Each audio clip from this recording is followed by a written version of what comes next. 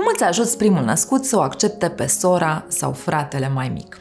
În primul rând, încearcă să nu schimbi programul sau rutinele copilului mai mare.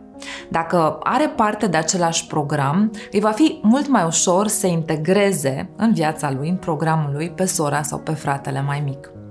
În al doilea rând, spune copilului mai mare că cel mic sau cea mică este foarte norocos sau foarte norocoasă să aibă un frate sau o soră mai mari de la care au ce să învețe. Mai apoi, asigură-te că atunci când vin la voi în vizită rude sau prieteni, cel mare are și el parte de atenție, pentru că noi adulții, noi așa, avem tendința să sărim pe bebeluș.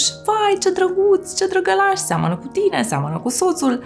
Acordă sau încurajează oaspeții tăi să acorde cam același tip de atenție și celui mai mare.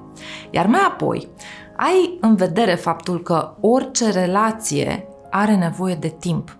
Nu poți să ceri atenție, iubire, timp, cooperare, păsare, empatie într-un timp foarte scurt. Orice relație are nevoie de timp.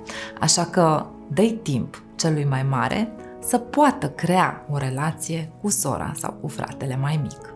Dă click pe linkul din descriere și înscrie-te la webinarul